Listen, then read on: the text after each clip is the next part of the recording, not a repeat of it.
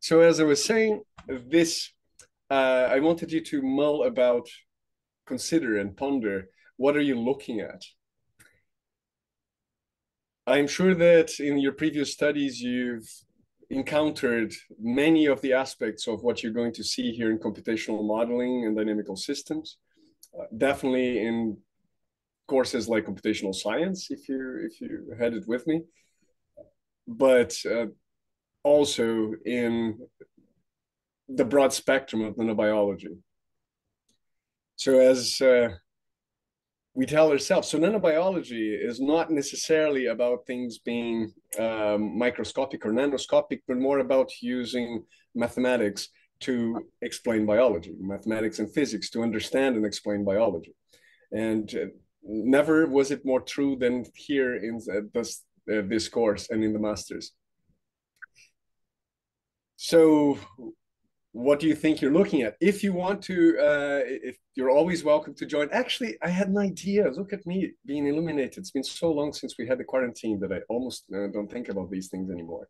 You have the Zoom chat. So if you join in Zoom, uh, I then can uh, I then can hear your uh, your questions in the chat. Isn't that a lovely idea? I'm trying to. I don't know how to turn off the the waiting room though. Let me see if I can disable the waiting. Okay.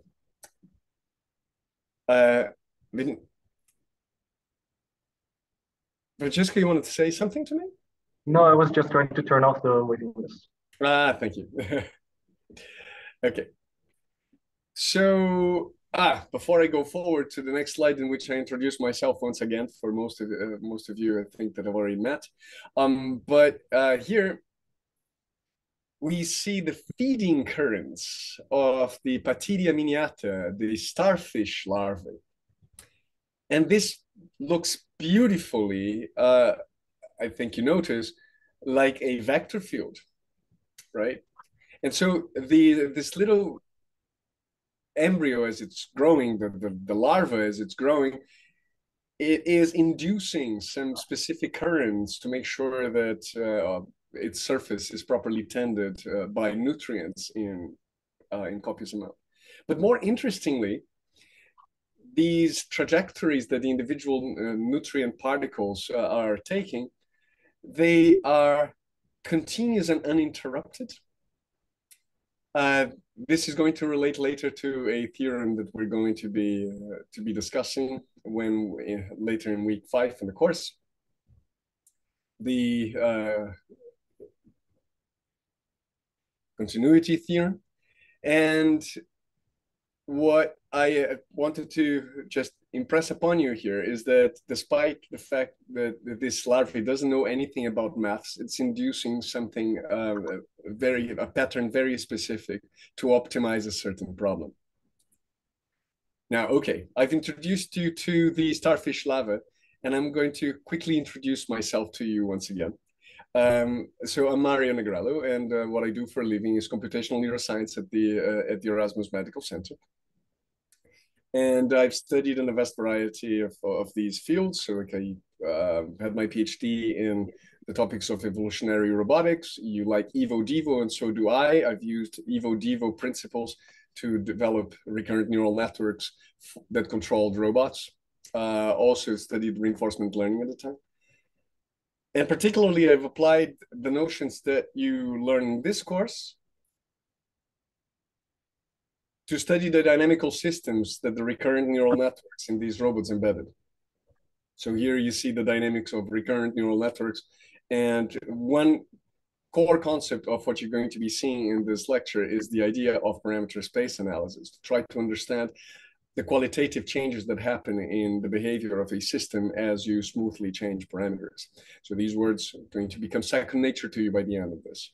And uh, if you look just on the one below, um, you've noticed that these concepts are now used in uh, high level and sophisticated models of the cerebellar system uh, that we are developing also in the computational neuroscience department. Now I see some people walking out because um, they see that I'm recording, no, or they're going to the front, to the front rows. Oh, that's also nice. Um, so apologies, I'm noticing too much. Here, um, I was going to say that in the dynamics of the cerebellum, first of all, this is a colleague of yours who is now my PhD student called Leonard Lensmeyer. He's uh, he's put together this animation of our most recent model of the inferior olive of the cerebellum of the mouse, and the principles under underlying it, so the biophysical principles underlying it, give rise to high level dynamical phenomena that we're going to be discussing here. So even though this is a piece of brain with hundreds of thousands of uh, neurons, and these neurons have compartments, you can use the tools that we're going to be learning about here to analyze its behavior, particularly in the context of coupled oscillators. So we're going to be talking about phenomena such as synchrony and so forth and so on the lecture that I had planned for today had two components. The first one is uh, an introduction to the topics of dynamical systems, just a taxonomy of the uh, of the grand scheme of things, let's say, so that I give you a mindset of how you're going to go into it. At, the end of it, we're going to be talking about the specifics of the course, like how much effort you're supposed to uh, to, to, devote to it, um, and its structure. You probably now know that we're going to be dealing with Jupyter notebooks and projects that you're going to be working on your own, and so I'm going to I'm going to describe that towards the end of the lecture. Okay. Um, if you want to know more about dynamics of brains and uh, how they tie in with the study of dynamical systems. So there, these are two books on the topic, uh, self-promotion. Um, I think that might be useful, particularly the computational modeling of the brain. It's not, I didn't write it by myself. I'm just one of the editors. We, we bundled together uh, a great set of contributions on the topic of modeling the brain across many scales. And one surprising thing that turns out is that across all the scales, it feels as if dynamical systems is just a way to look at it.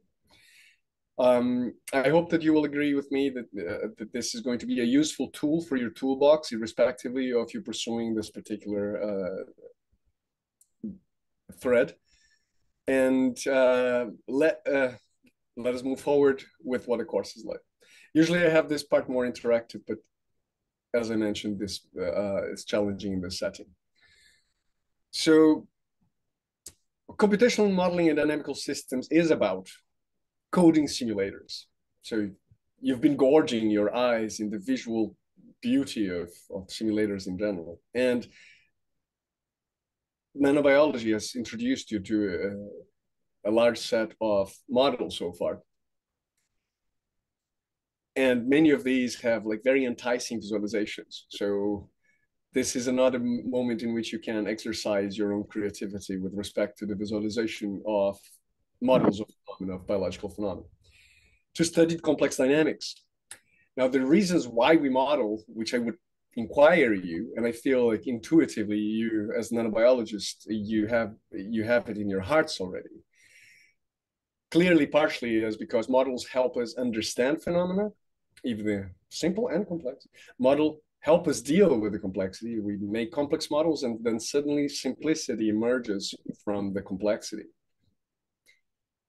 They provide a unified framework for discussion, give us the words with which we can speak. And they say, oh, you've you've assumed this particular number of uh, this particular physical constant here.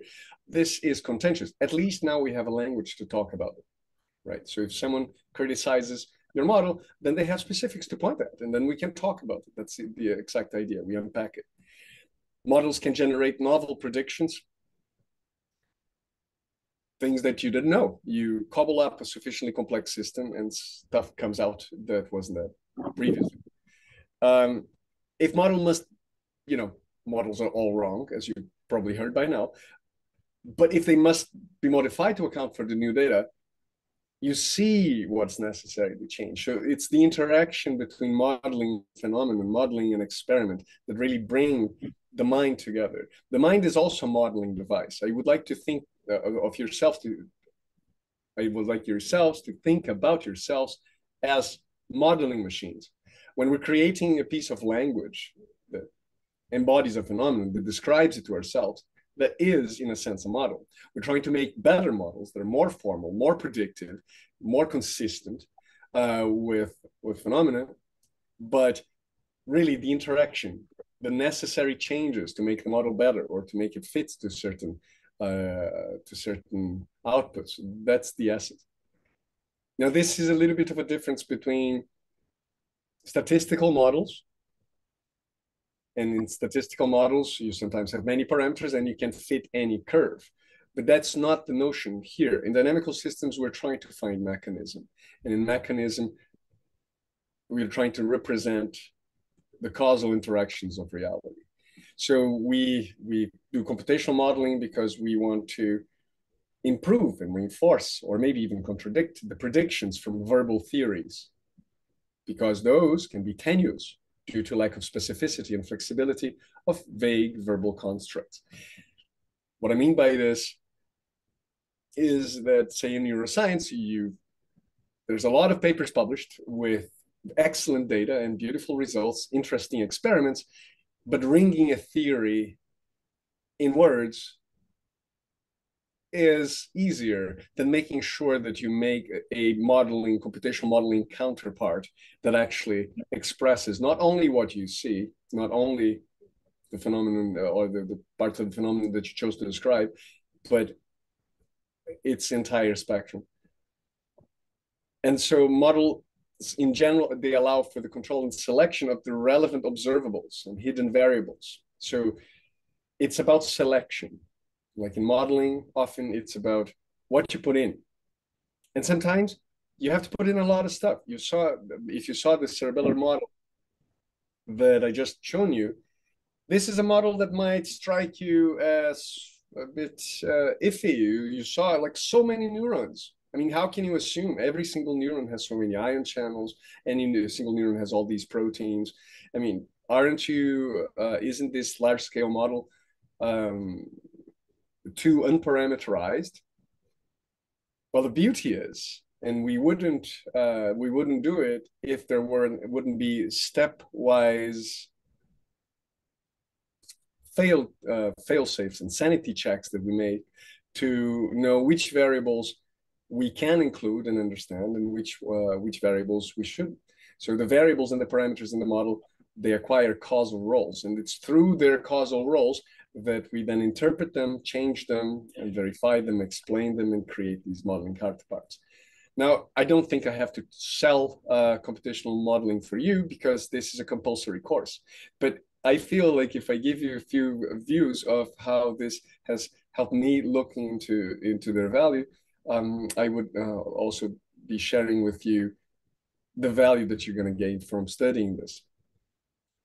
And nowhere but in function and form, uh, the study of morphogenesis and dynamics uh, are um, dynamical systems more prevalent. I'm going to give you a few examples of pattern generation models now. And this is the motivation part of the course.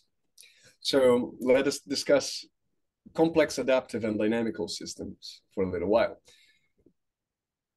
So a system, uh, as many of you will know, uh, is a, a collection of organized things, a whole composed of relationships amongst its members. So it is a, um, it's an organized whole, right? So you have many little elements and that's a system. Now that, the solar system is a system.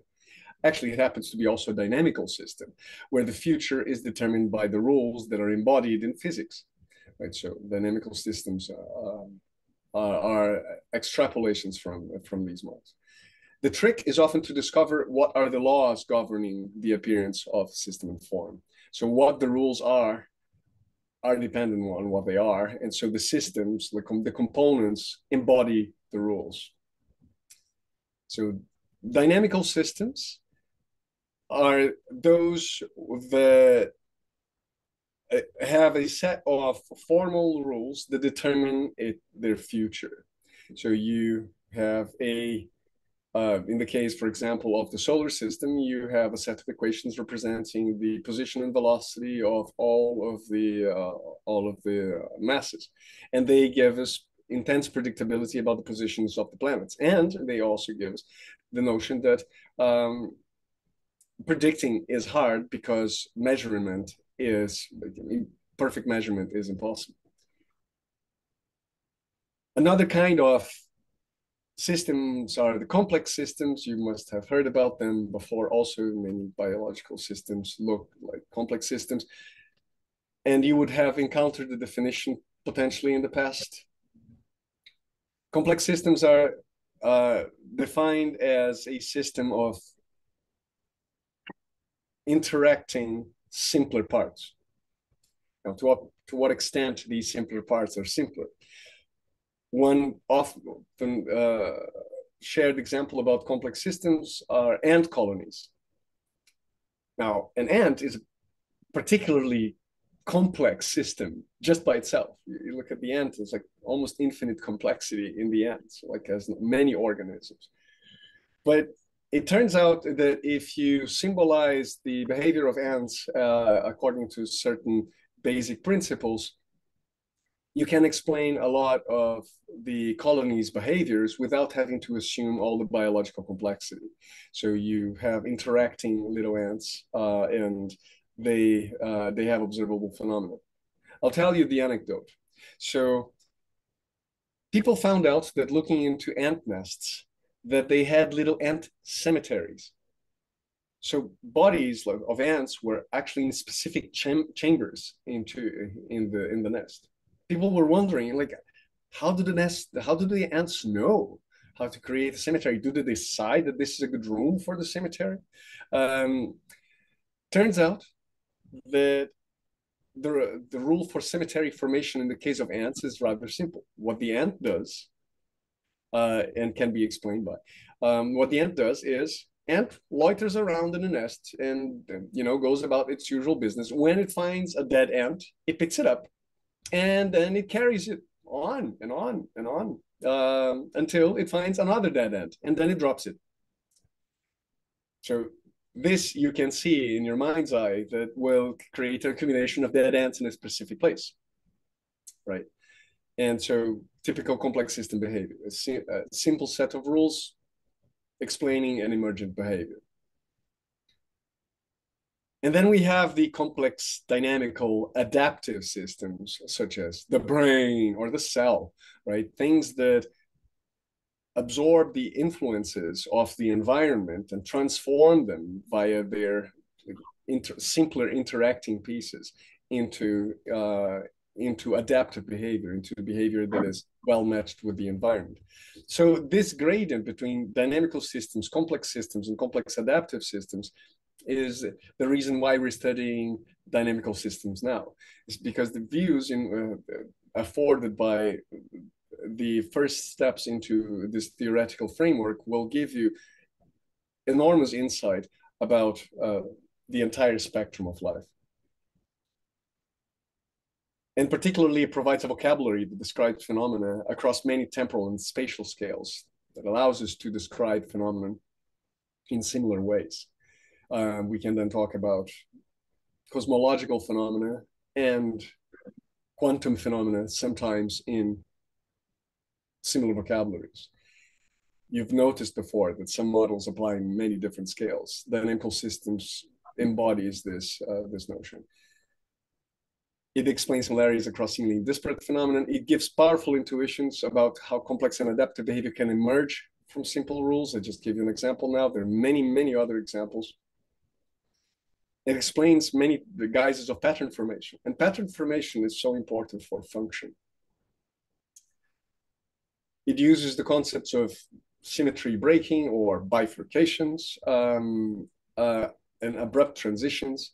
And it tries to explain how order arise, arises from what otherwise would see, seem like maximally entropic systems, completely homogeneous and it would also explain emergence of dynamical phenomena such as oscillations, waves, propagations, and uh, um, and so forth and so on. Now, what are these dynamical phenomena that I was referring to? So these are the words that by the end of this course are going to be, it's kind of like you, know, you speak English, you speak Dutch, you speak your other uh, languages, and now you're going to speak dynamical systems. And this is dynamical uh, systems lingo. Attractors, bistability, bifurcations, hysteresis, limit cycles, per periodicity or aperiodicity, and synchronization. Those are uh, the essences, um, the essential terms that we're going to be using here this is just a component of a larger spectrum. This is a um, picture of complex systems in general, and you will see here nonlinear dynamics and systems theory close together with pattern formation, evolution, adaptation, networks, collective behavior, and game theory. So all of these components, many of which are going to be present in this course, beautifully mingle with each other. It's almost impossible to actually create these circles because there are so many possible uh, connections for these complex systems. I'll share you uh, share these slides with you so that you can uh, take some time to look deeper into some of these terms. It would be interesting for you to now look at these and see how many of these words you have an intuitive understanding now how many of these words are new to you and then do the same thing in eight weeks from now in which then you will have a completely different view of what the word chaos means for example or you will have a different way to think about homeostasis potentially and even uh, clearly also uh, pattern formation and so forth just a few of the ways history is important also for science. So this is a picture of the timeline of the study of complex systems. So you see how young for a scientific discipline, how young this all is. And obviously computers helped, right? So no simulations means like we can't have many of these insights from uh, from emergence before we can compute with many pieces.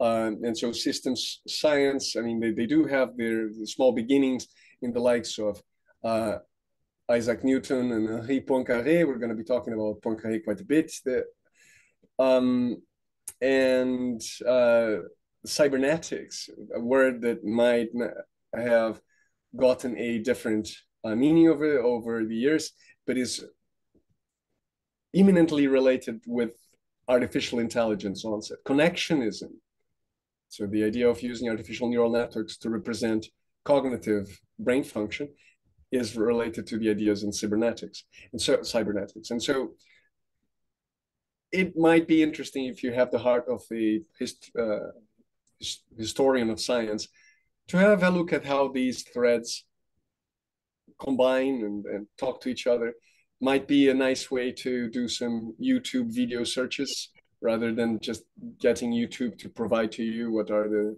uh, 10 most recent videos, look into some of the stuff that uh, that underlies the modern knowledge.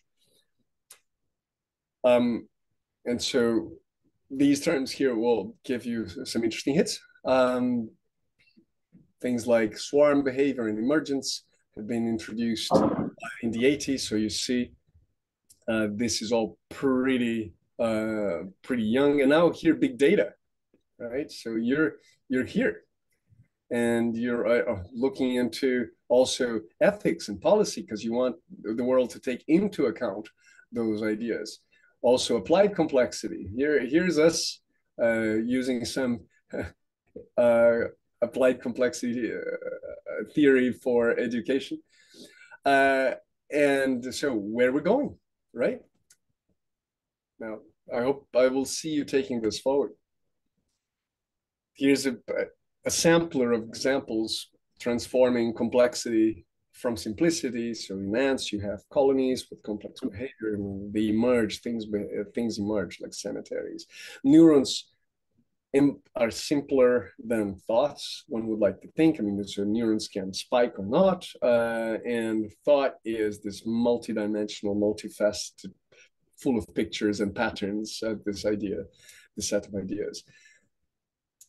One person doesn't need to, democracy. Many people do need some sort of uh, organizational system that emerges from us, right? And the properties of politics are often also properties of dynamical systems. In fact, there is a model published in Science about uh, how bipolar beliefs emerge in a system that is catalyzed by social media.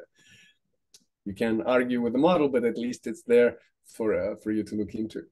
Uh, amoeba produce aggregates or the slime molds um, produce complex fruiting bodies. Cows, herd, fireflies can produce synchrony. I don't know if you knew, but some fireflies do blink synchronously. We're going to talk about that in last week. Now, the characteristics that transform simplicity into complexity are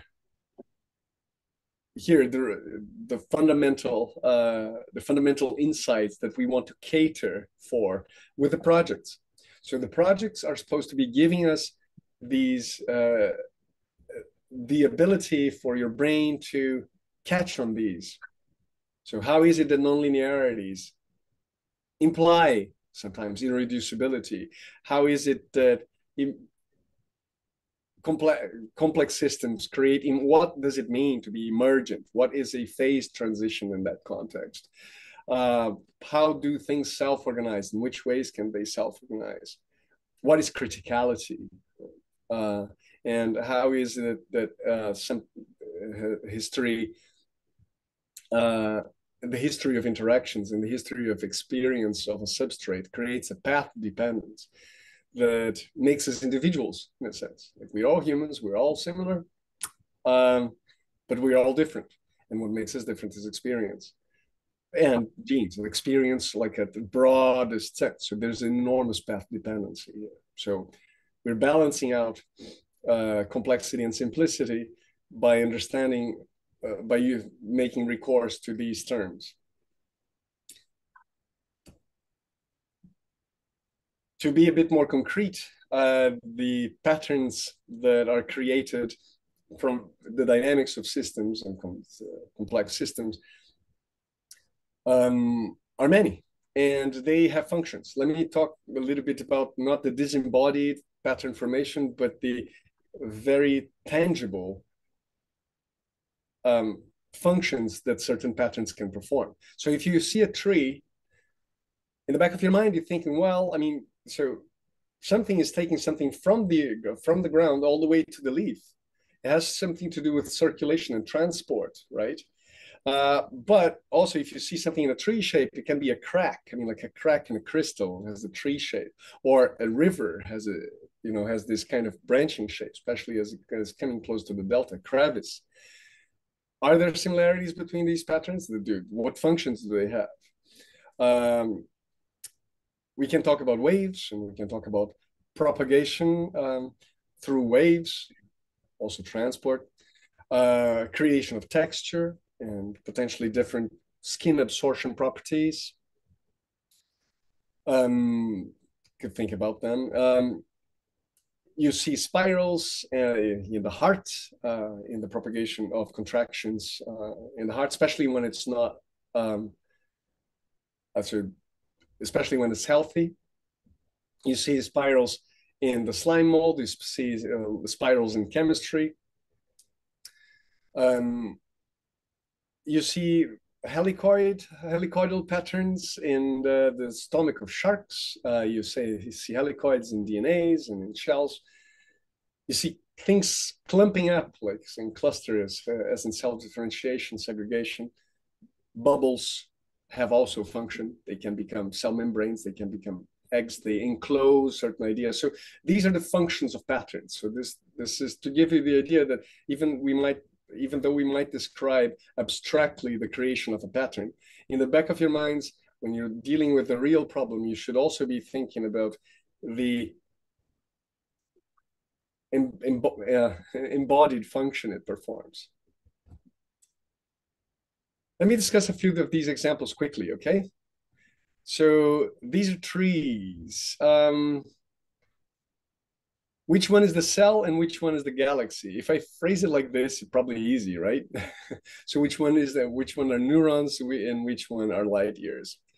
We would like to know whether the generating processes uh, may or may not be similar.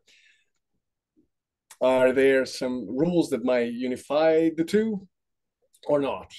Um, some pattern analogies are superficial and some pattern analogies are more profound.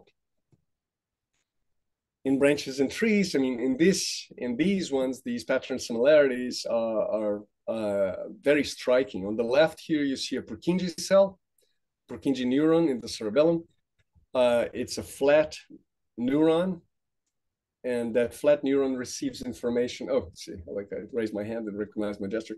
Um, it receives neuron. Uh, it receives input from orthogonally shooting through fibers. Then you see uh, the fan coral that positions itself orthogonally to the flow of nutrients in a water stream. And you have the three-dimensional branching pattern of the lungs that are acquiring oxygen from a fractal amount of alveoli. So trying to maximize the absorption uh, surface of the uh, um, of the inner lungs. They grow, right? Uh, so let me turn off my. And uh, there are some analogies and metaphors we can extract from the perspective of, say, information collecting or, or collection uh, in all of these. And there might also be generating mechanisms that inspire us to think about uh, one or the other. We can sometimes even generalize them. And now, first time I saw this picture uh, in the internet, it's a moving picture. I mean, the birds keep it off, but uh, these clusters of, of breathing trees, right? Like, uh, I first thing I thought was uh, alveoli, and uh, and these are not alveoli, and definitely they're not moving like that in the lungs, but you can, uh, the point here is that the ways in which they clump um, might share some properties with the ways in which alveoli clump also in the lungs. And talking about sharing properties, a simple model of making a tree could include just a few simple rules, such as you start with the root, and you produce produce a certain growth in a certain direction with a certain probability. And then you terminate uh, a new branch with another probability. So for every single step uh, you acquire uh, you make a decision about what you're going to do next and so with a certain probability you might branch uh, and with a certain probability you might uh, stop now let me generate one of these neurons for you on the fly if my computer allows me. Okay, no. Strange. I wanted to to to show you. Oh no, what happened? It's all grayed out. Okay. Uh, I'll move on with another example that is not mine. I'll see if uh, I can show this to you later um, these types of small beginnings also give us ways to explain very complex patterns that, that uh, are uh, very geometrical in nature. You might have run across the Romanesco broccoli in your favorite grocery store.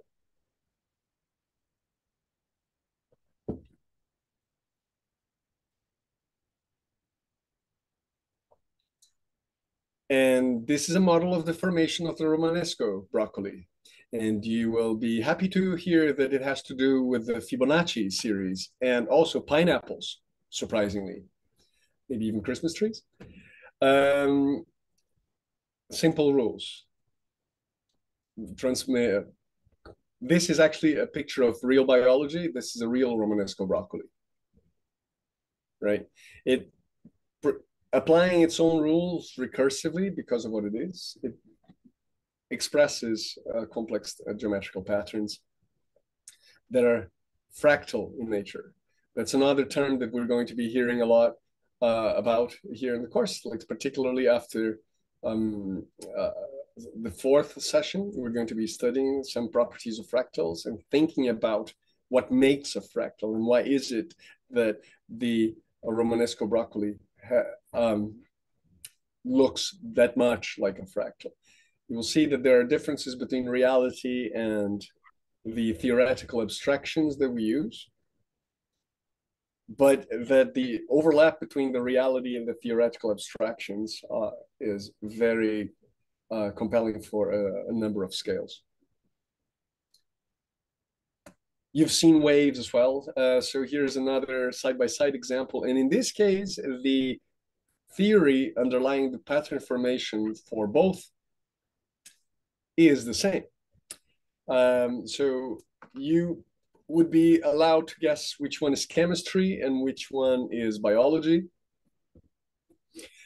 Um, but clearly uh, now seeing this unfolding in your screen it gives you the sense that uh, this is too fast to be biology, even though it's actually uh, faster than uh, faster than real time.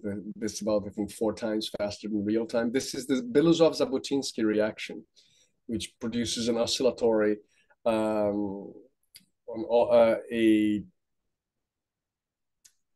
an oscillatory reaction that transforms the reactants and the reagent into each other in a loop. And if you spread it out in space, they produce then these propagating spirals outwardly. On the right, you have the dictyostelium um, slime mold, and uh, up to a certain uh, point, so the the theory that we use to explain this pattern formation is um, reaction diffusion. You might have stumbled upon it in your previous studies, and um, you will see more about waves and synchrony and pattern formation uh, towards the towards the course and protect uh, and potentially also for your final project.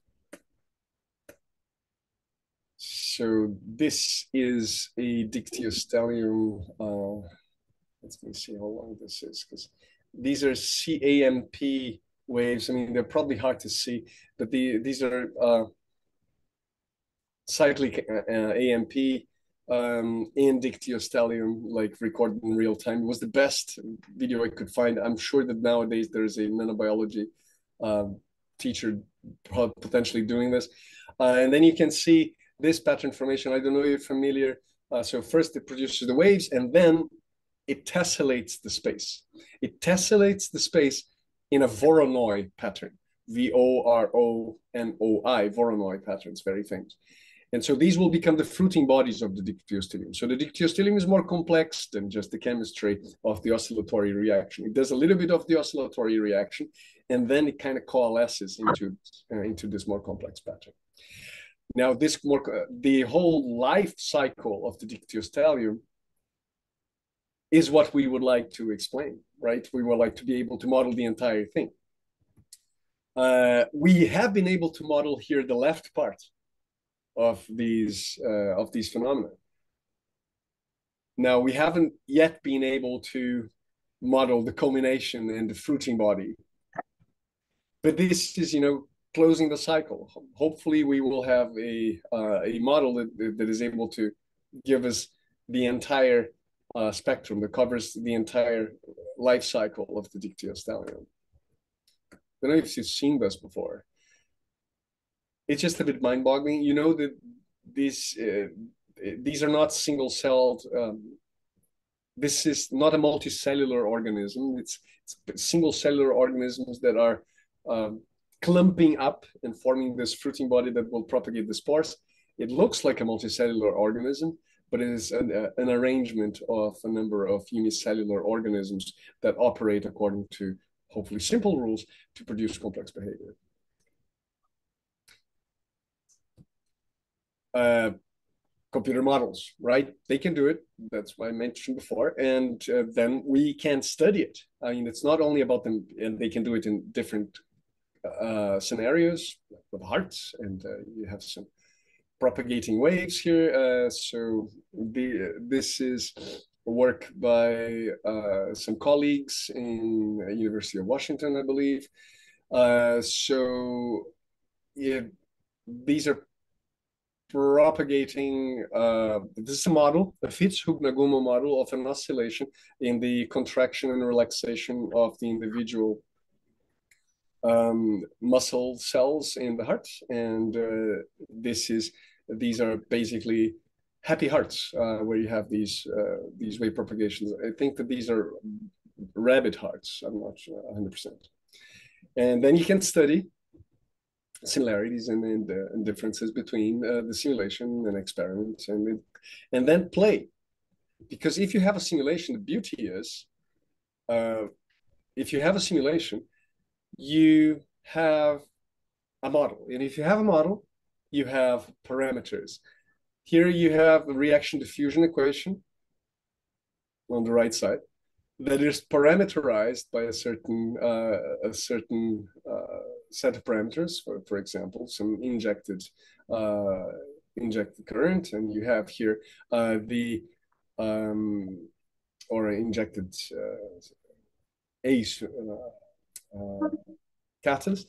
then you have parameters A and B, and as a function of those parameters A and B, you may or may not see the dynamics of the um, of the pattern for formation. You can then study what's the dependence of the parameters on the probability that you will see a pattern against the theory, knowing that then, yes, biology is full of variation, but at least there is a rule, a law that biology is trying to follow. And you can then use the fraction of uh, cyclic AMP receptors, for example, to uh, to uh, via the external uh, cyclic AMP concentration to study which are the regions within which this uh, setting will form. And then you can tamper with genes, for example, and you can create a knockout of a cell uh, that will modify some of these parameters and then potentially disrupt the pattern formation, transforming the organism from the one that did, did the spirals to the one that did not do the spirals. And maybe the one that did not do, do the spirals has some uh, fundamental differences. I actually um, think this is a, a study or a, basically this is a, a, picture from the previous study in which they did a genetic model to to uh, to try to pinpoint the fundamental uh, molecular contributions on the uh, on the pattern formation of dictyostelium. So tiny little amounts sometimes, right? So you, you change your gene um, or you change the concentration smoothly, but at one point, the pattern starts appearing. Now, it's already 45 minutes. I plan to, to go for, uh, for five more. You've encountered cellular automata before. This is just to give you uh, a, few more uh, views of the ways in which simple rules express themselves in reality. So you can see the, the shell, actually that's that's a picture of mine. That's a shell I found in the Brazilian beach. And on the right side is um, one of the one-dimensional cellular automata uh, by Wolfram that has uh, class four, which is an aperiodic class. Now they're not identical, but they are strongly reminiscent. In fact, I think that you can probably create something like the, the left one. You just have to figure out what the rules are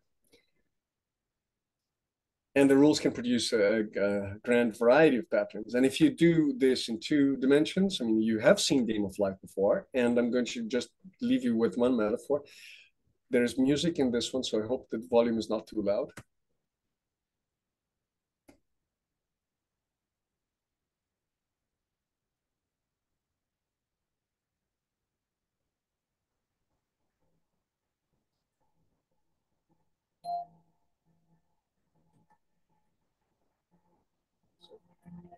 Should be asking yourselves, what do you think you'll see at the next level? We're zooming out of a two-dimensional Conway's game of life.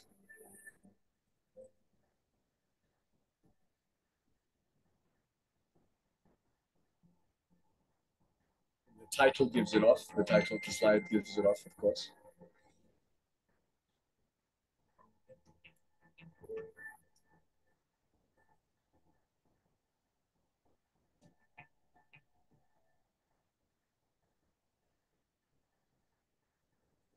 So is life computational? Is reality deterministic? Right? Is life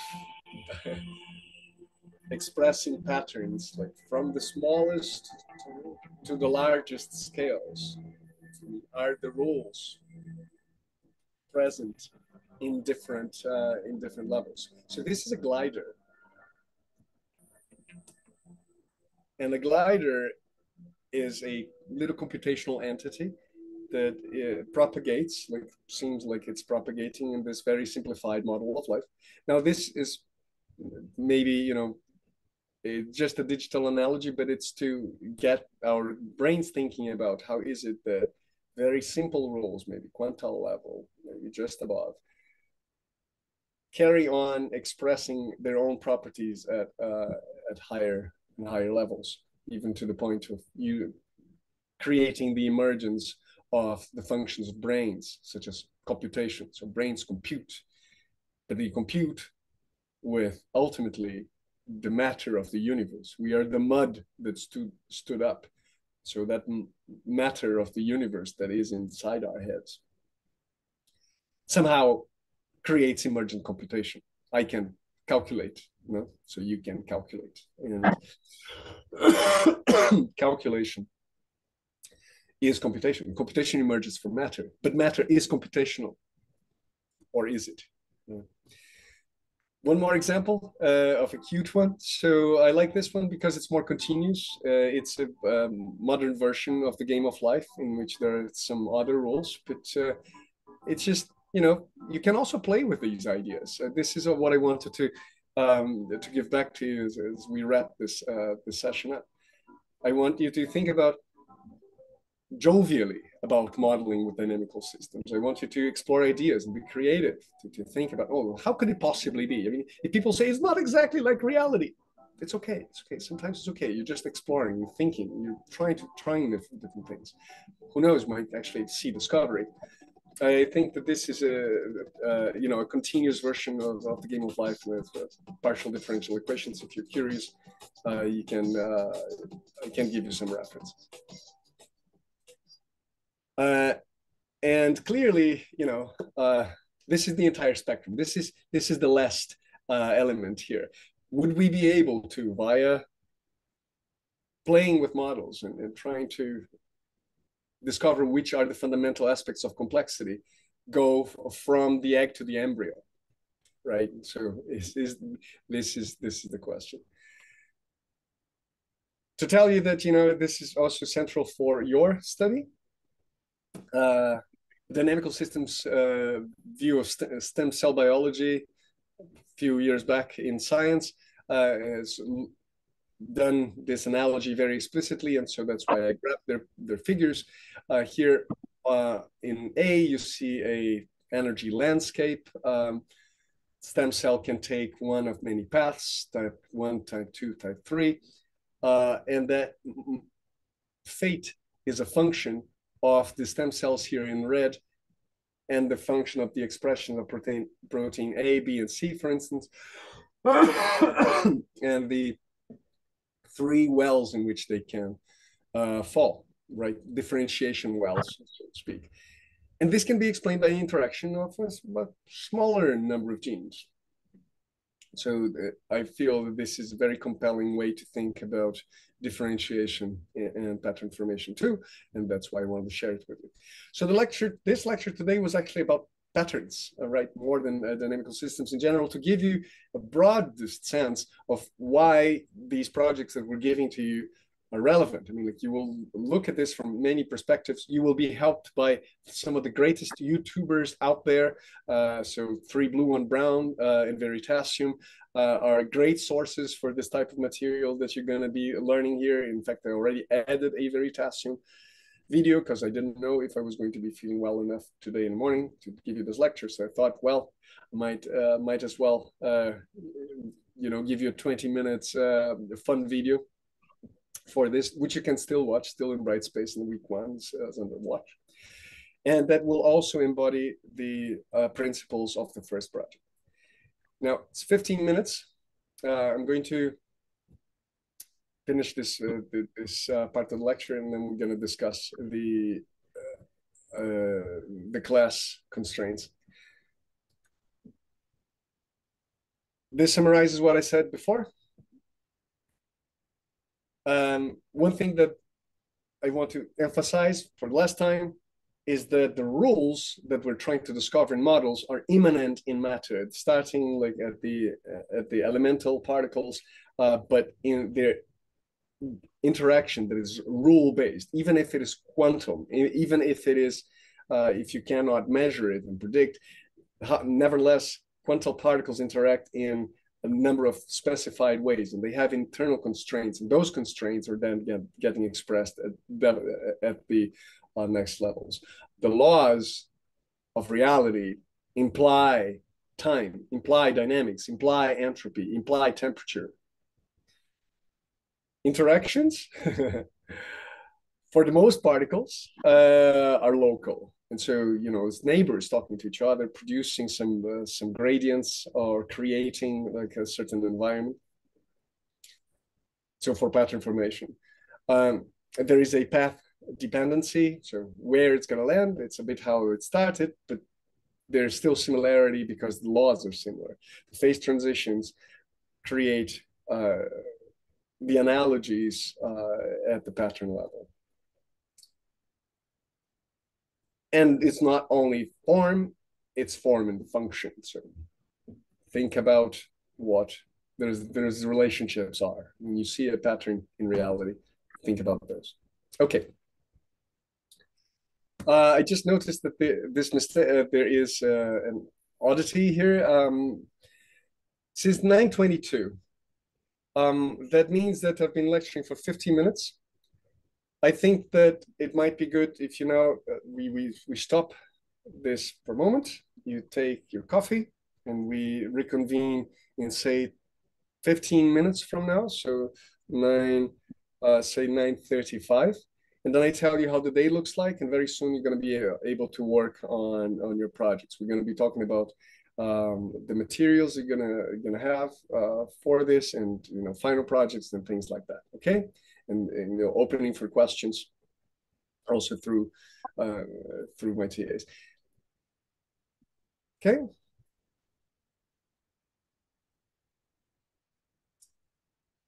I have to change this slide. There it starts at 8.30.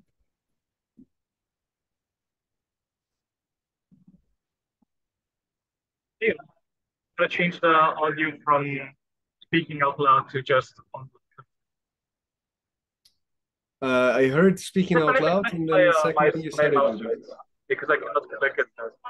Wait, I have to raise my own volume. What did you say? Perfect. Can you hear me? Yes, now I can. Ah, perfect. All right.